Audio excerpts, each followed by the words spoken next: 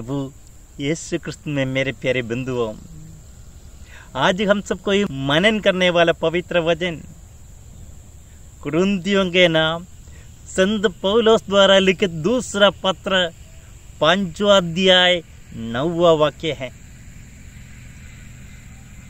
हम सब कोई ऐसे कार्य करते हैं, या ऐसे कार्य करने चाहते रखते हैं, कि हमारा हर एक कार्य सभी लोगों के लिए अच्छा लगे। आज संत पोलोस प्रभु के लिए अच्छा लगने वाला कार्य करने के लिए हमें आमंत्रित कर रहे हैं।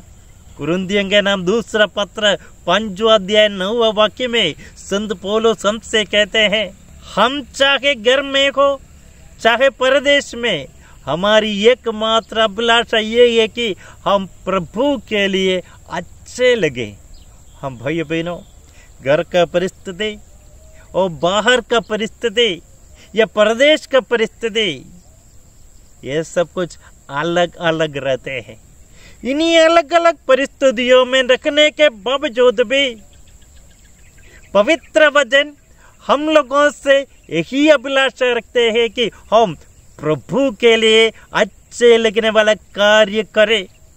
प्रभु के लिए अच्छे लगने वाला कार्य सोचे और प्रभु के लिए अच्छे लगने वाला भावनाओं को अपने हृदय तलों में लेके आए।